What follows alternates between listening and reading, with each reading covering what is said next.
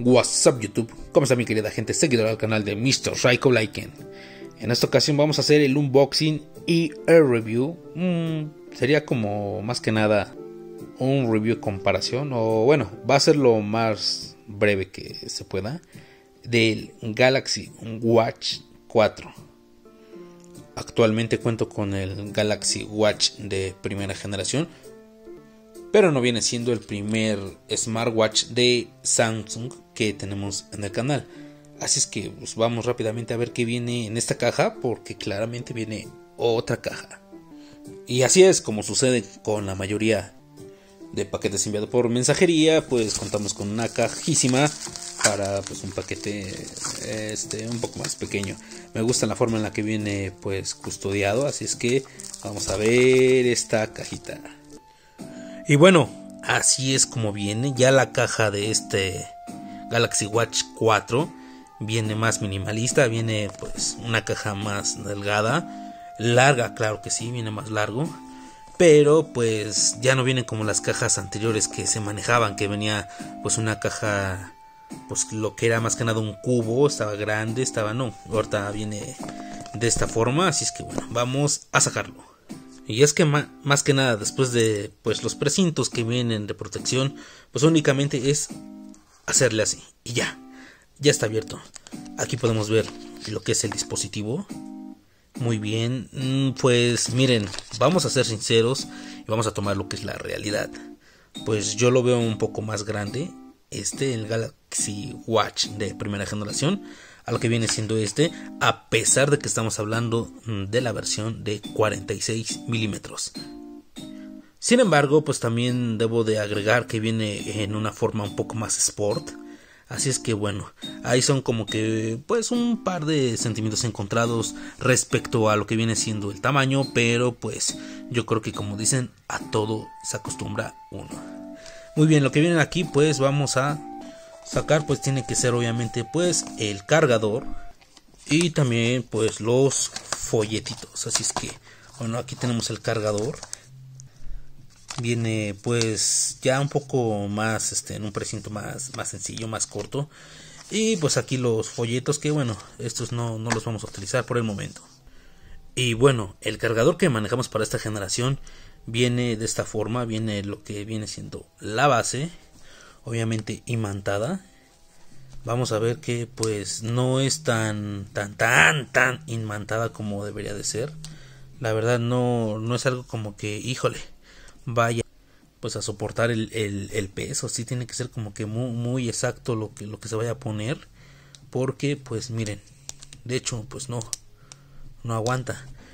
Tomando como referencia y como les decía hace un momento al inicio de esto pues vamos a hacer la comparación con una generación anterior o la generación anterior que es la que yo tenía hasta el día de hoy que viene con la base y sobre todo pues viene con un cargador ¿Qué es lo que yo hacía? Pues muchas veces este cargador lo utilizaba para cargar pues otros dispositivos. Cosa que pues aquí no, no se podrá. Entonces pues hay como que pues nuevamente les indico sentimientos encontrados sí lo hay.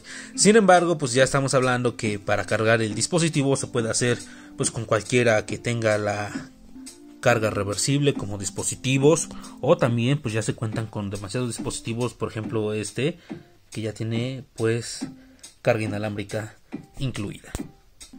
Entonces sí, ya al iniciar el dispositivo pues vemos que cuenta con las mismas dos teclas con las que pues contábamos con dispositivos smartwatch de la marca Samsung desde, híjole, casi desde que iniciamos, desde el primer Gear, el Gear S2 y de ahí el, el S3 Frontier y ya con la gama que tenemos ahora con los Watch.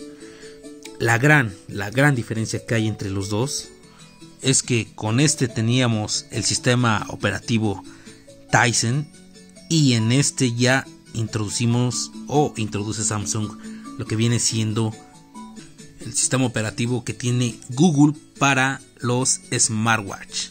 Así es que pues sí, sí se está dando un salto de sistema operativo a otro. Así es que vamos a ver si se ve reflejado en autonomía, sobre todo en autonomía, que es lo que para un usuario, por ejemplo, como yo, es lo que nos interesa. Vemos que cuenta con las dos teclas que les comentaba hace un momento, con las que vamos a hacer un retroceso y entrar al menú. Hago comentario, el mismo menú no se va a manejar como aquí, que era más interactivo con el bisel. Ahorita nos vamos a dar cuenta cómo es que viene actualmente ya en los Galaxy Watch Series, porque pues estamos hablando que tenemos aquí el Classic de 46 milímetros, pero también está eh, lo que viene siendo una versión más comedida, que es la de 42, y sobre todo también una versión que no viene con el bisel giratorio, lo tiene como, ah, por así decirlo, un poco más virtual. Para muchos sí es un poco más interactivo, pero por ejemplo para mí que estoy súper, pero súper acostumbrado al bisel giratorio, pues obviamente no tendría que dejar pasar. Así es que vamos rápidamente, vamos a abrir lo que es la aplicación, en este caso la de... Miren, al iniciar inmediatamente, inmediatamente al yo desbloquear el teléfono que viene siendo Samsung, dio pues aquí que ya podemos sincronizar el dispositivo. Ya que le dimos en conectar, vamos a dejar que hagan su magia. Obviamente esto va a tomar algunos segundos, así es que vamos a adelantarlo. Nos da pues aquí un código que se tiene que sincronizar en ambos dispositivos y pues ya se está iniciando la vinculación de ambos.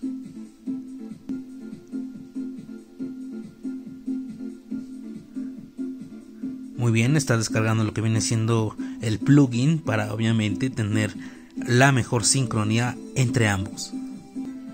Y mientras tanto se está haciendo la sincronía de los dispositivos, pues sí se hace mención de que en esta caja ya no viene como en antiguas versiones.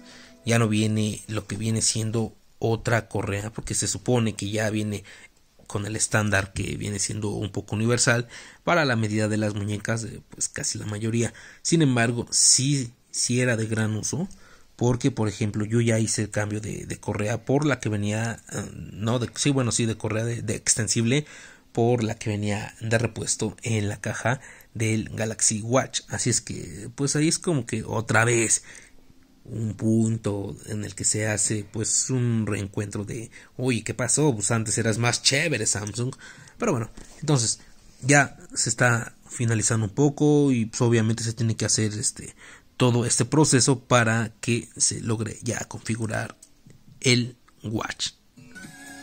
Y muy bien, ya tenemos todo listo después de pues, algunos minutos en lo que se hace la sincronización de ambos dispositivos. Pues vamos, aquí nos va indicando que pues ya tenemos lo que viene siendo el dispositivo ya toda pues toda la información ya que teníamos en el anterior porque pues sí sí tenía algunas cosas así es que se cargaron copias de seguridad y bueno Aquí nos dice, ¿no? Deslizar para abajo. Pues se ve un panel rápido. Y lo que me gusta aquí es pues, que ahora sí ya vienen otro tipo de, de opciones. No como se venía en el Galaxy Watch. Y bueno. Aquí ya nos está dando rápidamente lo que es el tour. Las notificaciones como en la anterior versión la tenemos hacia la hacia este lado girando hacia izquierda a derecha y muy bien Así es que vamos a ver lo que viene siendo lo de las tarjetas de deslizar de izquierda a derecha. Y muy bien aquí ya está oprimiendo la una de las dos teclas. Esta que viene en su tonalidad pues o con el marco rojo. Se, se ve muy bien se ve elegante. Y muy bien como nos dice a disfrutar el reloj. El menú el menú viene pues de esta forma ya no viene como les decía en el anterior.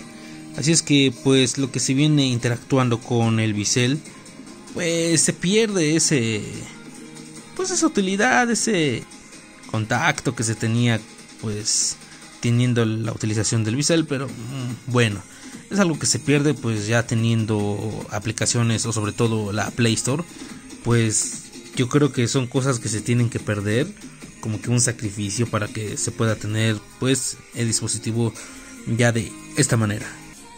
Y pues como les indicaba las cajas, pues sí, obviamente estamos hablando de pues casi tres generaciones después porque es el Galaxy Watch, el Watch Active, el 3 y estamos viendo el 4.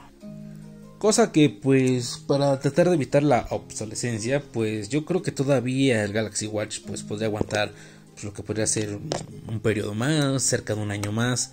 Pero pues yo creo que si tienes el Watch y te quieres pasar al, al 4 ya porque tiene la incorporación de la Play Store que ya tiene el sistema operativo Wear OS, pues yo creo que sí es un gran, pero gran salto. Así es que pues esperemos que hagamos otro video ya con un más extenso. Si es que así lo quieren lo dejan en los comentarios, pues ya sería todo. Nos vemos en la próxima y bye.